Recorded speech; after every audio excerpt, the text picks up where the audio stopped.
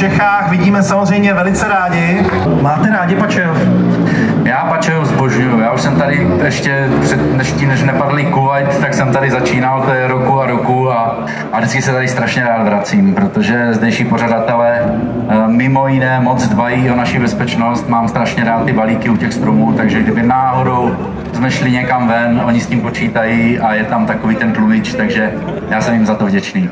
Letos to naštěstí nepotřeboval a e, přesto byly tady nové úseky, jak je hodnotíš? E, za mě velice pozitivně. Já ještě jsem z té staré školy, která jde rozpis a já tam vždycky paradoxně zajedu jedny z nejlepších časů, e, protože se neumím nic naučit, takže jedu podle toho, co slyším. Na druhou stranu ty ojeté staré vložky, tam nejsem schopen zajet čas, protože zkrátka neumím naspamět, přestože už jsem je moc krát jel, takže za mě dobrý, jako já kvituju každý nový kilometr. No a co vás čeká ještě letos? Bude něco? Svezete se?